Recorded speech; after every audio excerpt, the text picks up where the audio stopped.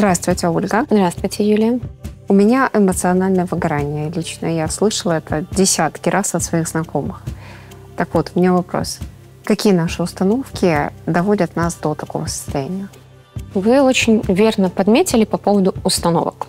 Есть определенные стереотипные, стереотипы, которые мешают нам для э, комфортной жизни. И э, эти стереотипы, эти установки, они имеют две такие, скажем, стороны. Первая сторона, они могут мотивировать, а вторая сторона, они могут доводить нас до этого самого эмоционального выгорания.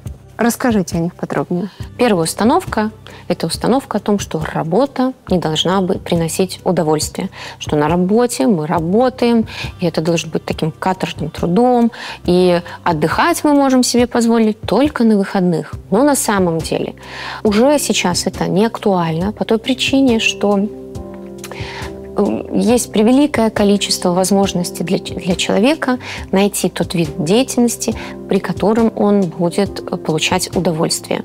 И не всегда есть необходимость мучиться э, и страдать на работе, которая вам уже просто, от которой тошнит.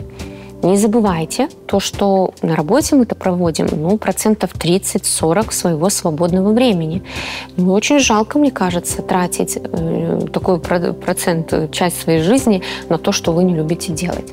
Да, есть такие ситуации, когда необходимо заниматься видом деятельности, каким-то трудом, который, может быть, вам не нравится в моменте, но это э, не говорит о том, что надо на этом останавливаться и не искать то, что вам в радость.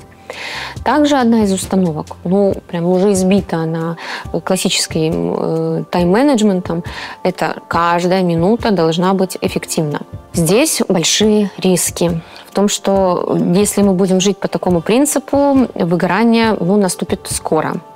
Я замечаю такую картину, что по этому принципу действуют очень многие родители, когда каждую минуту ребенка расписывают, ну, вообще, то есть занят он по, по край, да. Я говорю про крайность сейчас. Про то, что э, надо, должен быть отдых. И можно поваляться, не знаю, в кровати какое-то время, да, и ничего страшного от этого нету.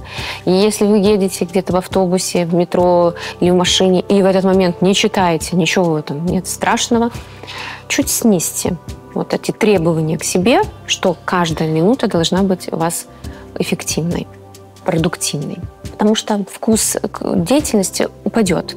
И еще есть такой момент, что когда мы, наоборот, бездельничаем, в этот момент формируются определенные креативные мысли. То есть секрет в том, чтобы найти дело, которое нам нравится, ну и позволять себе лениться. Да, все так. Секрет просто, на самом деле, оказывается. да. Благодарю, Ольга. Благодарю, Юлия.